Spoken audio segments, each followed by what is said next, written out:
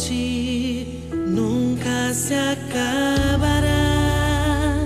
Este sonho lute para manter este sonho de Deus para você.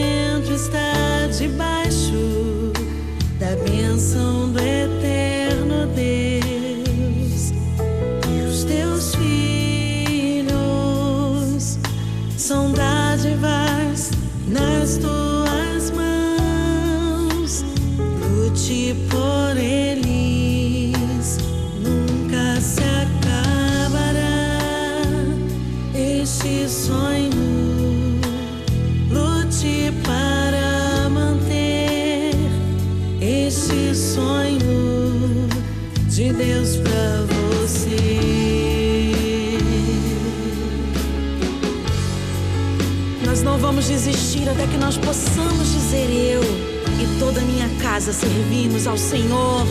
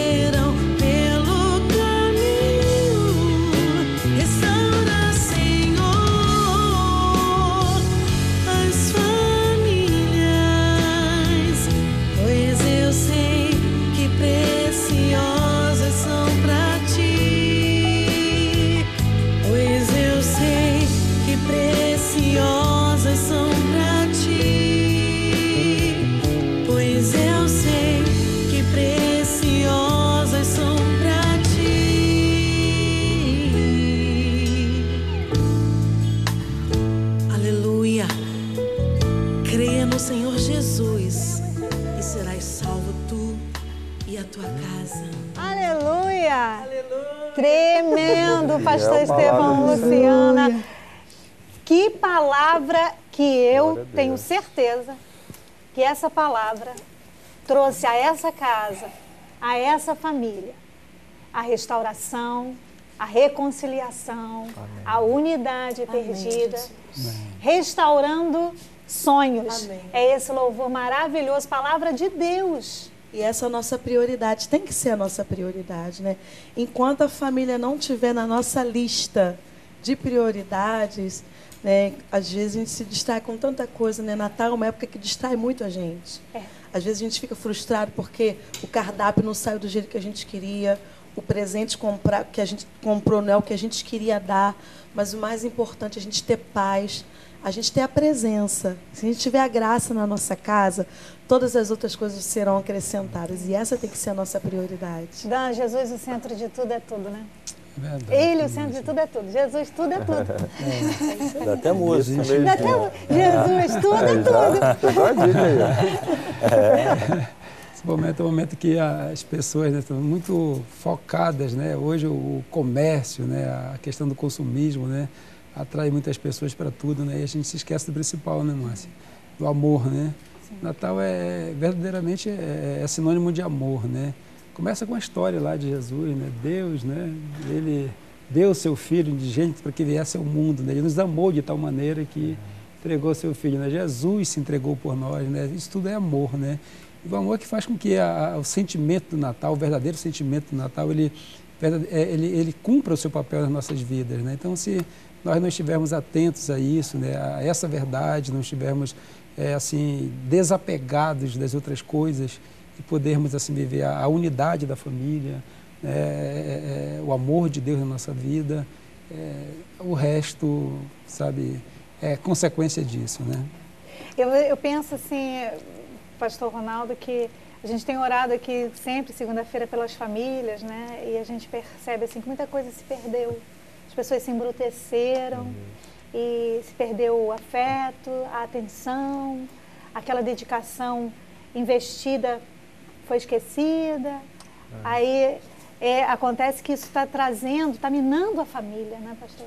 É, esquecem que a, a própria mensagem do Natal, ela está totalmente relacionada à família, né? Jesus poderia ter vindo, aparecer aqui na terra simplesmente do, no, do céu, aparecer com seus anjos, um cavalo branco, sair do mar, sair debaixo da terra, né? Podia ter muitas uhum. formas de Jesus aparecer, mas não olha o plano de Deus, né? encontrar ali uma família, encontrar ali José, encontrar Maria, não é? É, até teve uma conturbação no início ali, né, em relação à questão da, da gravidez de Maria, mas o Espírito Santo revelou a é José que, que era a propósito assim. de Deus. Tinha pois que ser é. tudo do jeito dele, né? E poderia até acontecer uma tragédia pela, pela tradição né, judaica da época ali, da lei de Moisés. Ele poderia ter né, até apedrejado uma história toda aí, né? Mas de tudo isso aí, o amor prevaleceu, não é verdade? Porque a mensagem de, de, do Natal é isso. E nos, nos, nos trazer para a família, nos mostrar realmente, né? Que esses valores aqui, que já foi falado um pouquinho de cada aqui, né? Dessa, do companheirismo, dessa união, desse amor, desse afeto, está relacionado a isso. Se, se, se não estiver isso relacionado ao Natal, não é Natal, né? a gente estaria celebrando outra coisa, né? Sabe, pastor Estevam, me faz lembrar assim, então, que a nossa árvore, então, deveria ser assim, em vez de brinquedos, presentes, ela deveria assim, uma árvore que tivesse um presente, o afeto, a comunicação, maravilha, é? o perdão, é tudo ali na árvore. É esses presentes, eles precisam existir. Essa, essa época ela deveria ser estendida uh, pelo ano todo, né? Olá. né? Assim, Olá. É, você vê que né, do Natal, né, 24 para 25, próprio dia 25 mesmo, as pessoas no Facebook, né, nas redes sociais estão, estão tão amáveis, né? Assim, se, se alguém, né, se alguém discute, se, é. se existe alguma. As pessoas né, até repreendem, que isso, para com isso. Natal, né? é Natal. É Natal, Natal. Devia ser, exatamente. Vai ter que continuar, né? Sabe por quê? Porque uma época em que as pessoas parece que elas associam a presentear. É. E existe melhor presente do que o perdão? É, é, esse presente é preciosíssimo para algumas pessoas hoje dentro da sua casa. Existe melhor presente do que o afeto, do que a consideração, do que o amor. Esses são os presentes que eles vêm exatamente do coração do Pai para a sua casa hoje. Às vezes a pessoa não quer aquela roupa, até pensa que quer. Na realidade, o que ela mais queria era aquela reconciliação, era aquele perdão. É, claro. Não é isso?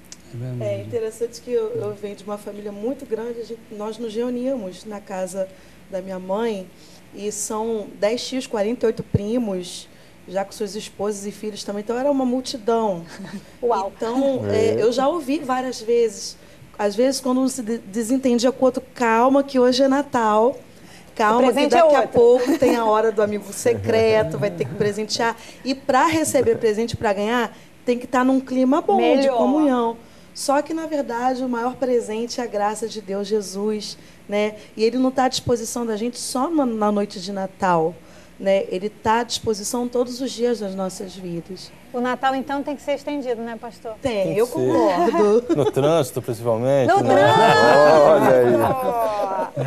Olha, os nossos queridos colaboradores aqui da Boas Novas, pessoas amadas, que estão sempre com a gente, diariamente com a gente, a Débora, a Selminho, Matheus, Jordan, a Carla, o Edinaldo, o Bebê, eles têm uma mensagem pra gente de Natal e essa visão deles de Natal pra gente também é muito importante. Dá uma olhada.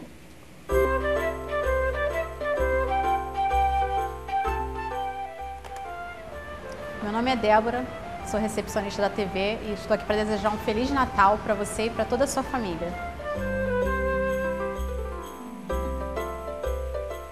Oi, sou Selma Maquiadora. Estou aqui para desejar um Feliz Natal para vocês. Beijo.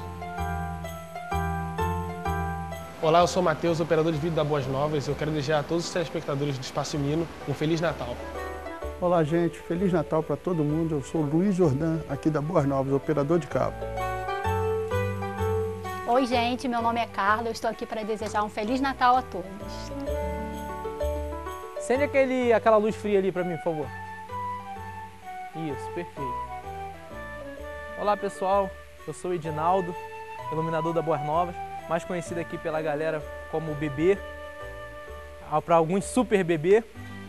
E estou aqui para desejar um Feliz Natal para todo mundo, paz, prosperidade e vamos que vamos, que estamos juntos. Isso aí.